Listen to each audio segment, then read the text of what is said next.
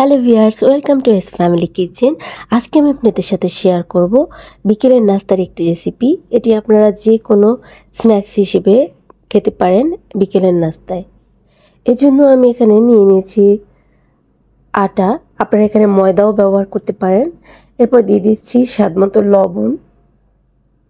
এরপর এটাকে আমি ভালোভাবে একটু মিক্স করে নিচ্ছি।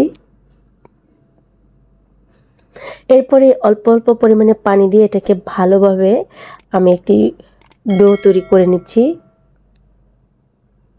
আমার ডোটা তৈরি করা হয়ে গেছে ঘন করে।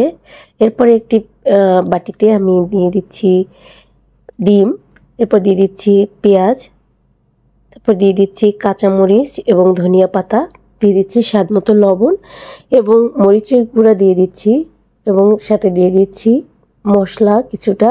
আমি এখানে কারি মশলা ইউজ করেছি। এরপর আরেকটি বাটিতে আমি নিয়েছি গাজর কুচি, দিয়ে দিচ্ছি পেঁয়াজ কুচি, মরিচ কুচি এবং ধনিয়া পাতা কুচি আর দিয়ে দিচ্ছি মেয়নিস এবার এই সব উপকরণগুলোকে আমি একসঙ্গে মিক্স করে নেব।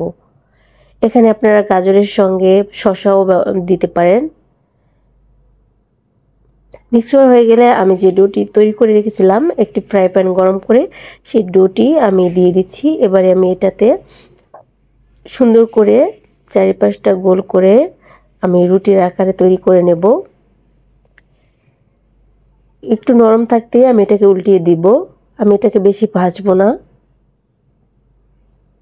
এভাবে আপনারা পরোটা তৈরি করেও খেতে পারেন। একদম বেলার ঝামেলা ছাড়াই। এভাবে রুটি বানিয়ে আমি তুলে রেখেছি। এরপরে দিয়ে দিচ্ছি মিক্স করে রাখা ডিম।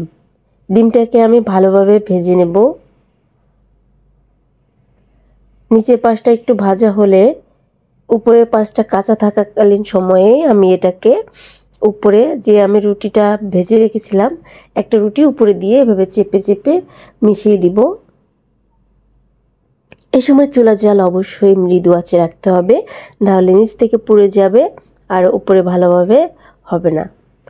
কিছুক্ষণ পরে আমি রুটিটাকে উল্টে দিচ্ছি। উল্টে দেওয়ার পরে আমি ডিমের উপরে দিয়ে দিচ্ছি টমেটো সস। টমেটো সস দেওয়ার পরে আমি দিয়ে যেই সালাদটা তৈরি করে রেখেছিলাম গাজর দিয়ে, সেটা দিয়ে এরপর এটাকে আমি এভাবে চেপে চেপে ভাজ করে রোল করে নেব।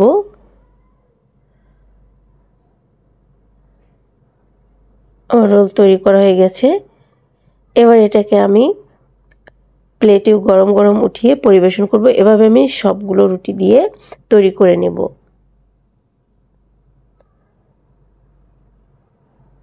আমার রোলটি তৈরি করা হয়ে গেছে। এবারে এটাকে আমি একটু কেটে নিচ্ছি। আর এই রেসিপিটি কিন্তু খেতে দারুণ মজার আর খুব কম সময়ে আর ঘরে থাকা উপকরণ দিয়ে আপনারা যে কোনো স্ন্যাক্স রেসিপিতে আপনারা এটি তৈরি করে দিতে পারেন। দেখুন, দেখতে কতটা সুন্দর হয়েছে আর খেতে কিন্তু অনেক মজার। দেখতে যেমন লোভনীয় খেতেও অনেক মজা।